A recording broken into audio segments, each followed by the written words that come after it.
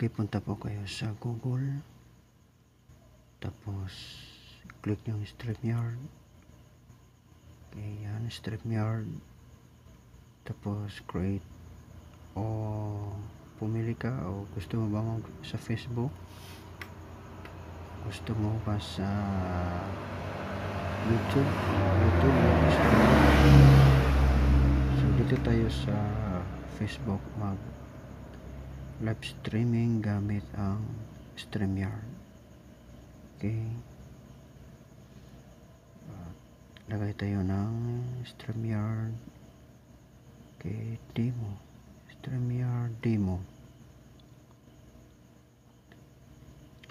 Wow.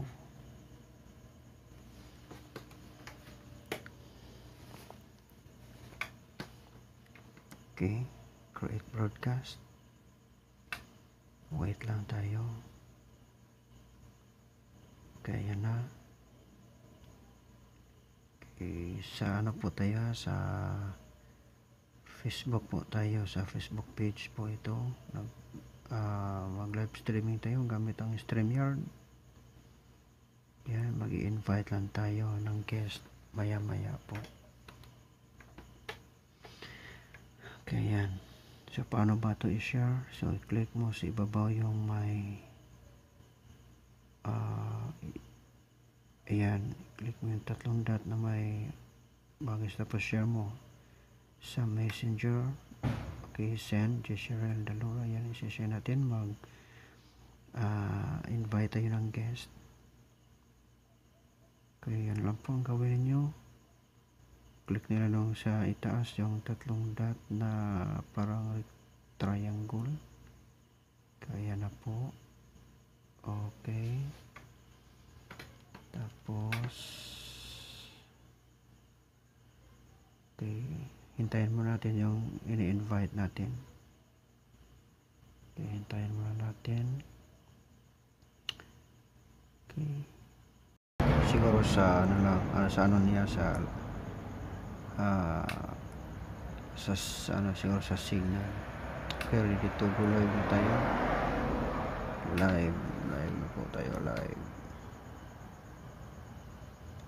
Live na po tayo. Live na po tayo okay.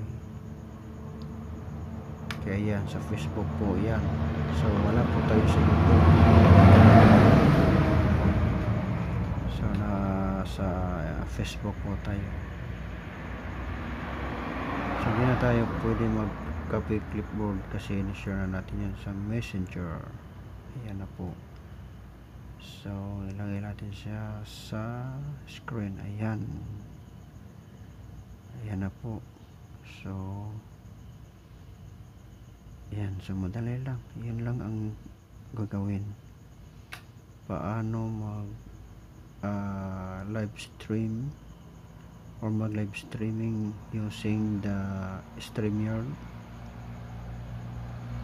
Okay pag ano mag live streaming sa FB page mo